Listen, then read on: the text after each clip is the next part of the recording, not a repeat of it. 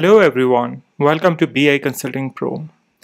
As I promised you earlier, I'm gonna make a video on add a guest user to your Azure Active Directory so that you can share your report and dashboards in Power BI to the external users. That means the users who are not from your own organization. They are from somewhere outside they can be from the different organizations or that can be some other email address domain like Gmail, Hotmail, etc. So in this video, we are going to see how we can quickly add a guest user and we can share our reports with them. So let's get started.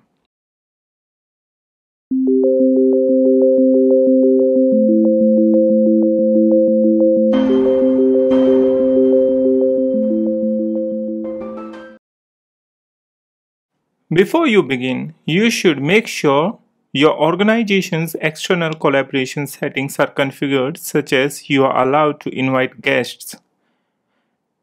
By default, all users and admins can invite guests, but your organization's external collaboration policies might be configured to prevent certain types of users or admins from inviting guests.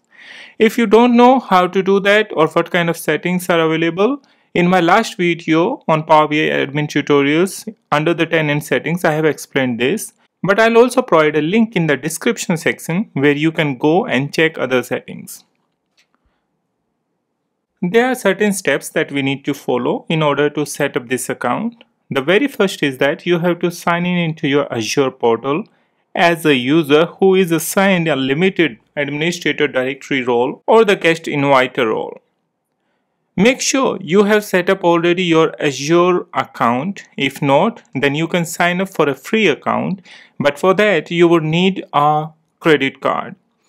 With the help of your credit card, you will get $200 worth of account credentials that you can consume at any point of time. And also, I would like to highlight that Microsoft won't charge anything from your credit card until unless you upgrade your account.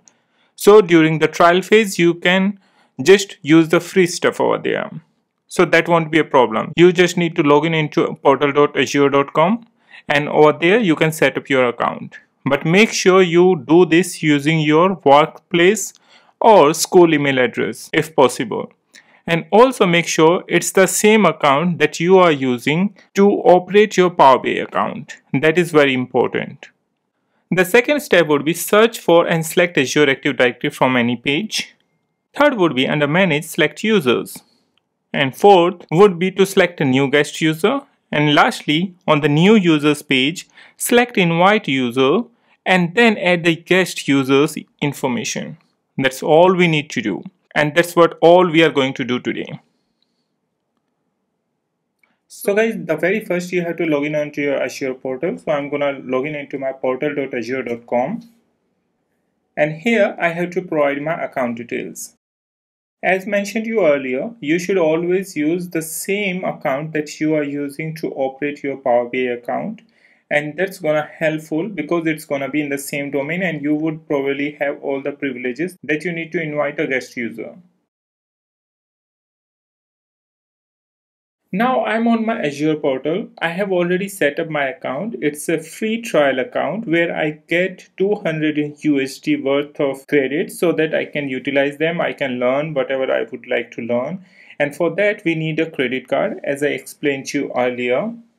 Don't worry, Microsoft won't charge you anything from your credit card unless until you upgrade your account. Over here, on my left hand side top ribbon, you can see that it's saying upgrade from your trial subscription. If I'll upgrade this, only then Microsoft is going to charge me. And also you will get a subscription over here only once you will add your credit card details. Otherwise you won't get a subscription. So you need a subscription in order to create any guest user into your Azure directory. You can create certain resources over here and very soon we are going to come out with a new Azure series as well where we will learn Azure data engineering related stuff. That means whatever you are looking on my screen now, we are gonna learn all of them one by one by one. So every week I'll start to create new videos on Azure so that you can learn something new in Azure as well. So over here, our main motto is just to go into the Azure Active Directory I can see over here it's there. If you are not finding it over here, you can even search it. But make sure you have a subscription. For example, if I'll click my subscription, you can see that currently I have this Azure subscription one. This is my trial subscription which I got it once I add my credit card details over here. If you want to create any more subscription, you can click on add button and there you can create a subscription. You need to fill out the details and you would be able to create it. But right now I don't need it. So I'm going to go back to my home page. Right now we just need Azure Active Directory. Either you can select from here from your dashboard or you can just directly search from here Azure Active Directory and you will see there is an option just click on this now what we are going to do over here we are going to add a guest user and in order to do that we need our guest user's email address as well if you are logging on over here after a long time then it can take some time to set it up now I can see that on this page I have user I have guest user I have group and other information. So we need to create a new user or we need to invite a guest user. So I can directly click on this guest user. Here I have two options. Either I can create a user over here or I can invite. On this page you will learn it's saying create user. Create a new user in your organization. This user will have a username like this BI Consulting Pro because my domain is BI Consulting Pro.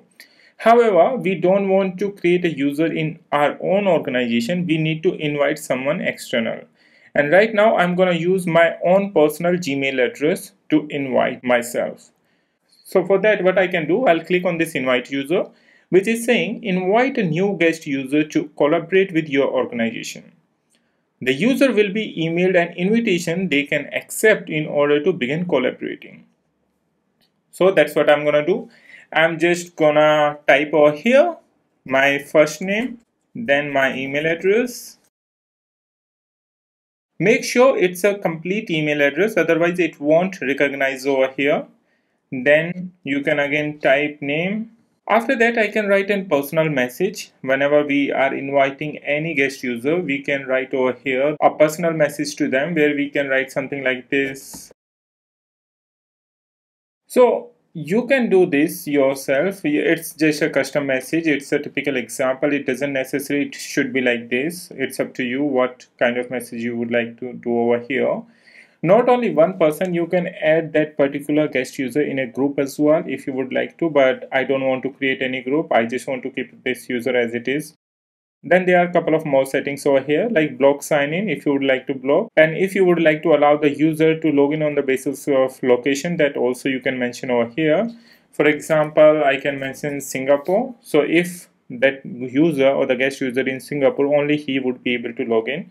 And then you can provide some additional details over here like job title. That's it. That's all the details you need to fill. Let me go through once again. First you need to come over here on this page new guest user where you have to choose the invite user then we have to fill out the name email address of the user first name last name. Only fields with this asterisk mark you need to fill them. Those are the mandatory. Otherwise it's up to you whether you want to fill other fields or not. And then we are just gonna click on this invite button. Once I click on this invite button it's gonna send an email. And over here, if I'll click on this notification bar, it said successfully invited the user. Now what I'm going to do, I'm going to log in into my personal email account and I'm going to see whether I have received that particular email or not. So now guys, you can see I received this email from my Azure Active Directory where it's saying please only act this email if you trust the organization represented and blah blah blah and I have to accept it in order to do that. So I earlier sent to myself as well to just test this account and this was the original email where you can see I have this accept invitation as well. So whenever you are receiving or whenever your guest user is receiving they have to click on this accept invitation only they can start using after that. Also if you accept this invitation you will be sent to this this this, this. So you can click on this whenever you are going to accept it and then you have to accept everything over here. So once the user is going to accept all the terms and conditions, the guest user is gonna come over here page similar to this. Now this part has been done. We have invited our user. Now the other things what we can do we can add the apps as well or hide the collection but our main purpose over here to invite someone so that they can view our Power BI reports. And for that now I need to log in into my Power BI account. So let me log in over there. So guys this is my Power BI account. Over here you can see audit at biconsultingpro.com I have logged in. I have my Power BI Pro license.